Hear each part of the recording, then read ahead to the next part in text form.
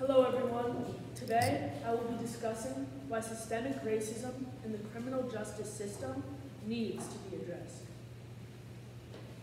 Racism has been an infamous staple in society since the very birth of the United States, but has failed to be addressed by the beneficiaries of its existence.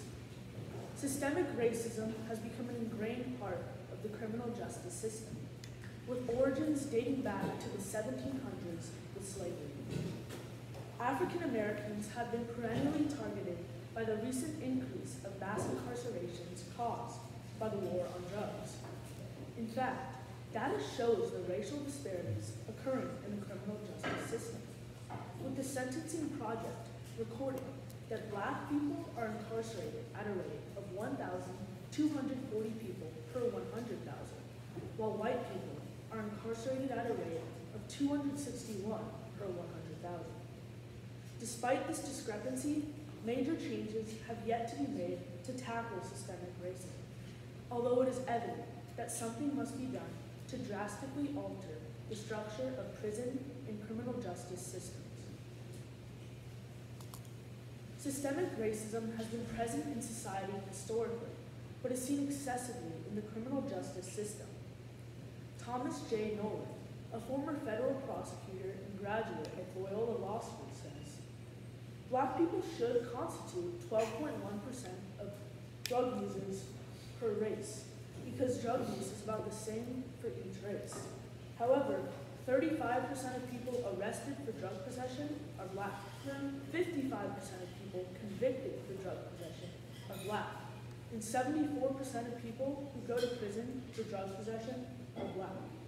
Additionally, according to Justin M. Smith, lawyer and graduate of Washington and Lee Law, slave uprisings, black population growth, and residential integration were not met with formal mechanisms from the government, but instead were controlled by legislatures.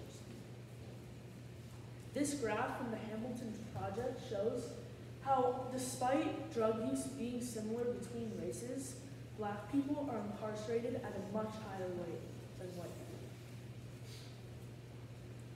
Additionally, prison and criminal justice system structures are currently formatted so that minorities are severely disadvantaged in life, with poverty and lack of family presence having dire effects on minority communities.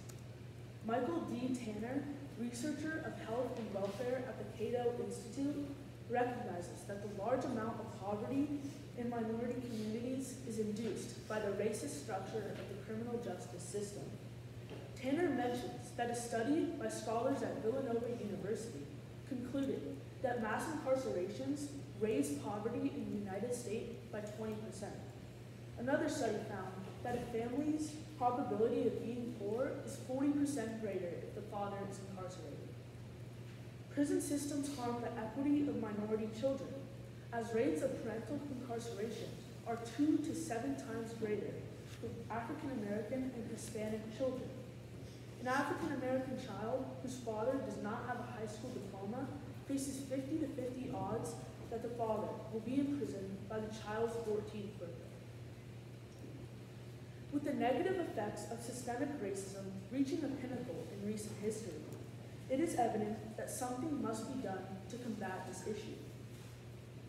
The Sentencing Project, a nonprofit organization that advocates for social justice and equal rights, suggests that the war on drugs has been inefficient and a promoter of systemic racism, with there being requirements for lengthy prison terms for drug offenses when alternatives would be more suitable. As a result, many minorities have been excessively punished for minor drug offenses, which has been a facilitator in mass incarcerations and excess convictions. Another possible solution is also suggested by the Sentencing Project, who argues that long prison sentences have actually been shown to have diminishing returns on public safety. Reducing the racial injustice in the war on drugs and removing minimum prison sentences for minor offenses would push for a criminal justice system that is more equitable and just.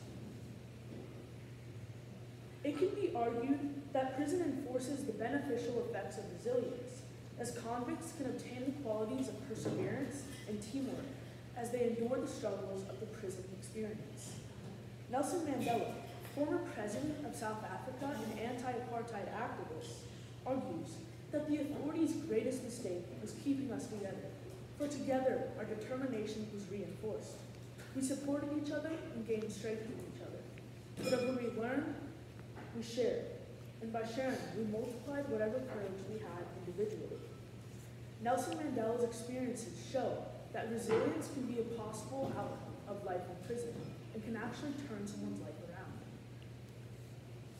However, it cannot be ignored that resilience can come with many adverse effects and has many examples of being harmful to ex-convicts. According to Tomas Chamorro Premuzic and Derek Lusk, researchers at the Harvard Business Review, when resilience is taken to the extreme, it can get in the way of leadership and by extension, team and organizational effectiveness.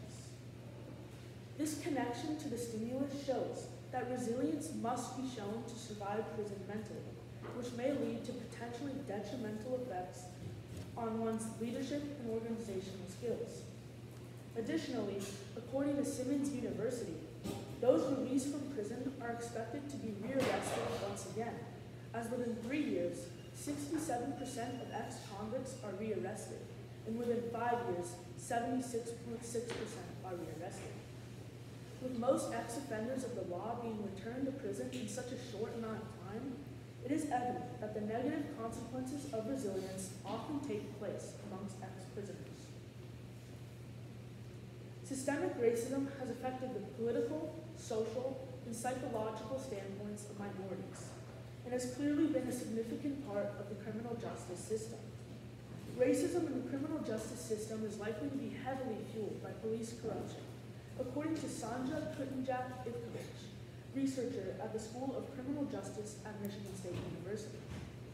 Although some may suggest that resilience is a key outcome of prison life, it is actually likely that many convicts develop the adverse effects of resilience as they are in prison, such as leadership and organizational flaws. It is obvious, obvious and urgent that something must be done to combat systemic racism. Suggestions such as government action, reform, reduction of mass incarceration, and less protection of prosecutors with absolute immunity could push the United States towards an equal and just future.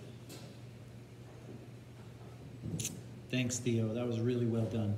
I got a couple of questions for you. So, uh, for the first one, you know, this can be a controversial topic. So, how did you approach and synthesize the different perspectives on either side of this issue to come to your conclusion? So, the main part of my different perspectives was included in the counter argument when I discussed how resilience can actually be developed in prison. Originally, my counter argument was going to be about how maybe systemic racism doesn't exist, but I found that to be a ridiculous claim, so I didn't even include it in my paper.